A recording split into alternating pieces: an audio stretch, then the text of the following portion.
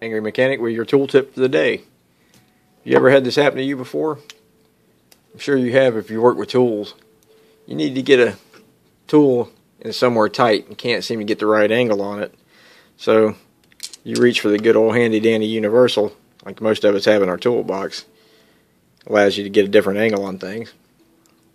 But, but you put it on, seems like every time you get close to that bolt, right where you want to be, this happens.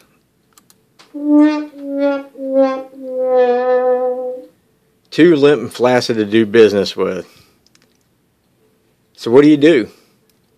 Most people would reach for some tape, but tape leaves sticky residue all over your all over your tool. So uh, here's a better solution. Take your rubber band,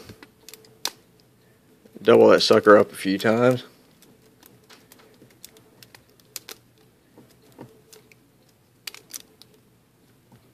and apply it directly to your tool.